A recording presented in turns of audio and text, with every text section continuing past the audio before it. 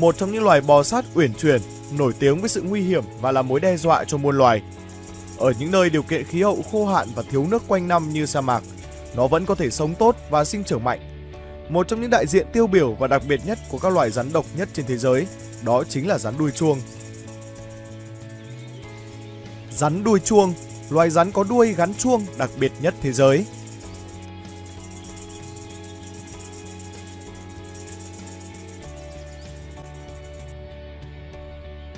Rắn đuôi chuông hay còn được gọi vắn tắt hơn là rắn chuông hoặc một cái tên kỳ lạ hơn là rắn rung chuông. Đây là loài rắn độc thuộc các chi Crotalus và Citrurus thuộc phân họ Crotalinae.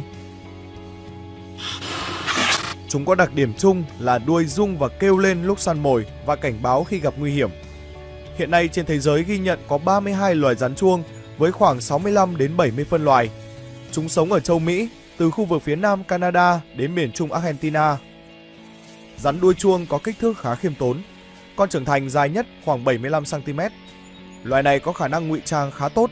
Nó có màu sắc hồng nhạt hoặc xám. Lớp da có nhiều màu sắc, giúp chúng có thể ngụy trang dễ dàng và thuận lợi trong những lớp cát trên khắp sa mạc.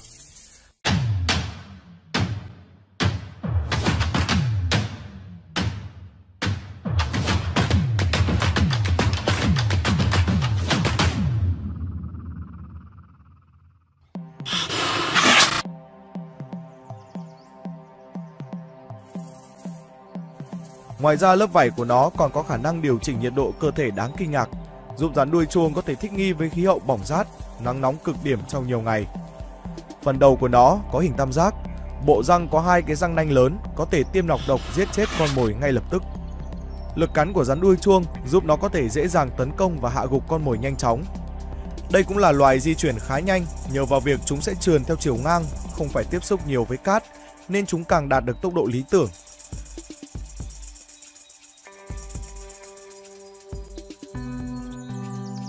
Phần đặc biệt giúp nó có tên như mọi người đang gọi chính là ở đuôi của nó. Một cái đuôi chuông có cấu tạo ấn tượng. Thật ra bên trong đuôi rắn hoàn toàn rỗng, được cấu tạo từ keratin và gồm những vòng tròn nhỏ nối tiếp nhau, nhỏ dần về cuối đuôi.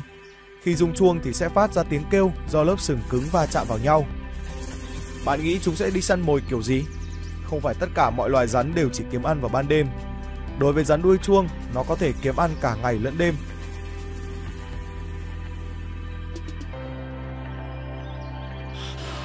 để thuận lợi cho sinh hoạt trên các sa mạc nóng bức, khô hạn. Nhưng thông thường thì chúng vẫn ưa thích đi săn mồi vào ban đêm hơn.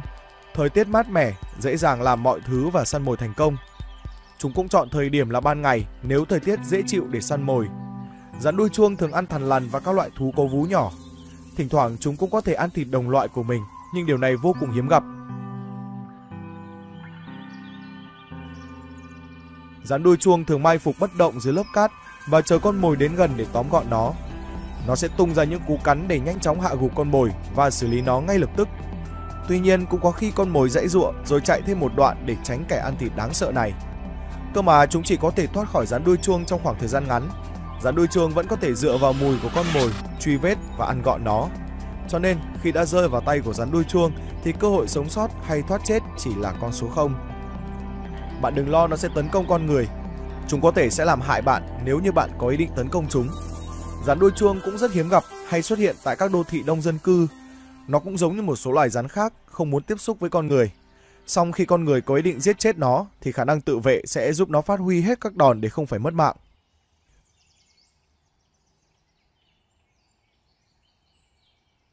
Bạn sẽ gặp loài rắn này nếu có dịp băng qua những đại lộ lớn ở sa mạc hay du lịch ngang qua đó.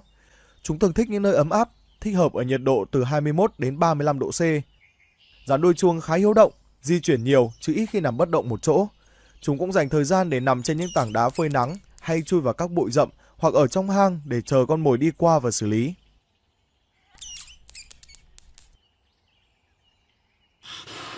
Một năm, những con rắn đuôi chuông sẽ lột ra từ 5 đến 6 lần như thay lớp áo mới để phù hợp với kích thước cơ thể của nó hơn.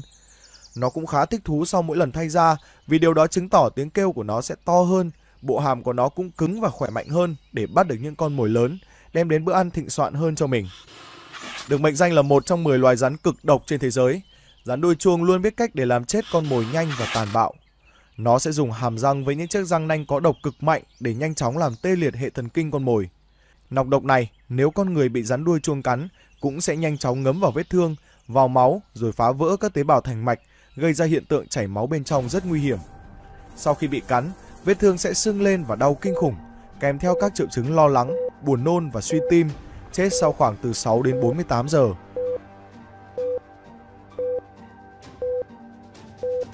Nhưng nếu được cứu chữa trong 2 giờ đồng hồ đầu tiên bằng huyết thanh, khả năng hồi phục sẽ cao và nhanh chóng.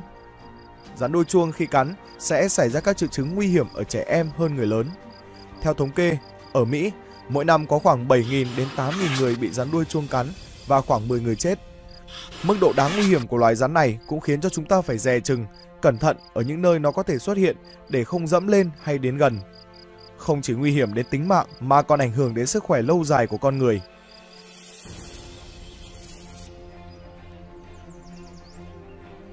Vì thế, nên tránh nó ra để không xảy ra trường hợp nào đáng tiếc.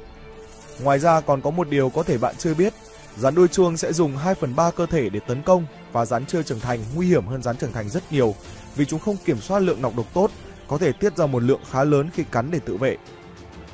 Rắn đuôi chuông sinh sản như thế nào? Rốt cuộc thì chúng đẻ con hay đẻ trứng? Có thể thấy hơn 70% loài rắn trên trái đất sẽ đẻ trứng, còn 30% còn lại đẻ con. Điều này phụ thuộc vào nơi mà chúng sinh sống. Một số loài có thể vì yếu tố đó để thích nghi và cũng là sự sắp đặt của tự nhiên. Rắn đuôi chuông sẽ chọn giao phối và sinh sản từ tháng 1 đến tháng 3. Chúng không đẻ trứng mà đẻ con. Đây cũng là loài có thời gian giao phối kéo dài khoảng 22 tiếng. Sau khi sinh, rắn đuôi chuông sẽ ăn cả những con non yếu ớt, không khỏe mạnh để bồi bổ cho mình. Điều này thực sự là quá kinh khủng, nhưng đây là cách để nó có thể vượt qua một mùa sinh sản và duy trì sự sống. Nếu không, có khả năng chúng sẽ chết vì kiệt sức sau khi vượt cạn. Các con rắn đuôi chuông cũng phát triển nhanh chóng, sống thọ đến khoảng 20 năm. Rắn đuôi chuông thường chọn sống ở những nơi có không gian rộng lớn, mênh mông như những bãi cát, cồn cát và sườn đồi thấp với hỗn hợp cát và sỏi. Chúng khó có thể sống và thích nghi ở nơi có độ ẩm cao như sông, hồ, đầm vì rất dễ mắc bệnh phồng rộp về da. Vì thế nơi ở lý tưởng của chúng vẫn là sa mạc rộng lớn. Đôi khi môi trường sống tốt với loài này nhưng lại khá chắc trở, khó khăn để duy trì sự tồn tại của loài khác. Mặc dù có độc tố cực mạnh, có khả năng giết chết cả con người, nhưng rắn đuôi chuông thường không chủ động tấn công con người. Đây cũng là điều đáng mừng bởi nó không như những loài hiếu chiến khác sẵn sàng phục kích để tấn công bất cứ ai. Nhưng chúng ta vẫn nên cẩn trọng và đề phòng bởi mối nguy hại có thể xảy ra do loài rắn này.